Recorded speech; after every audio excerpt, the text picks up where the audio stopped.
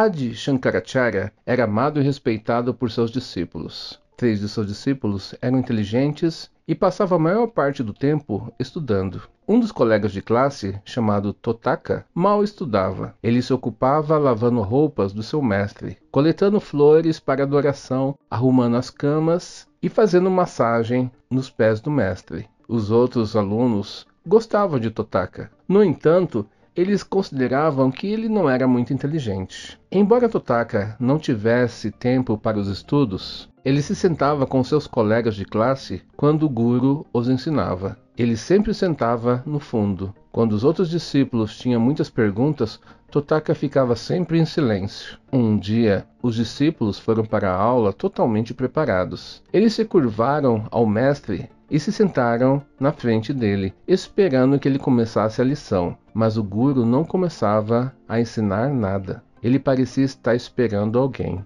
Eles olharam um para o outro para ter certeza que todos estavam presentes. Então eles perceberam que Totaka estava desaparecido. Eles ficaram surpresos que o seu guru estava esperando por aquele aluno, que não tinha muita inteligência, especialmente para entender um profundo conhecimento. Um dos discípulos, chamado Padmapada, olhou incisivamente para o pilar. Os colegas entenderam a mensagem. Ensinar Totaka era tão bom quanto ensinar uma parede sem vida. Eles suprimiram um sorriso enquanto olharam para o Guru. O Guru Shankara entendeu o que aquele discípulo estava dizendo, embora nenhuma palavra fosse dita. Ele sorriu, então ele chamou o discípulo desaparecido. Totaka, venha, venha para seu mestre. Totaka, que estava coletando flores, ouviu seu guru. Ele se virou e caminhou a ele com um lótus na mão e uma oração em seus lábios. Seus colegas ficaram surpresos ao ouvir Totaka recitando versos em sânscrito fluente em louvor a seu guru. Esta foi a primeira vez que eles ouviram Totaka falar, e ele estava recitando um poema de sua própria composição. Quem eles achavam que era um idiota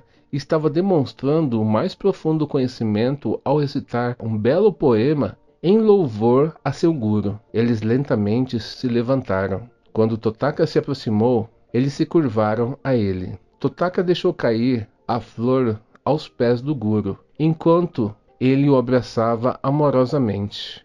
Esses versos, criados por Totaka, são conhecidos como Totakastakam.